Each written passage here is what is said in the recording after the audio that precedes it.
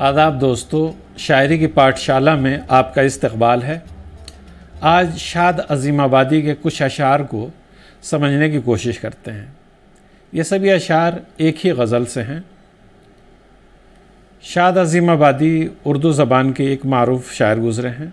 उनका कलाम निसाब तालीम का भी हिस्सा है।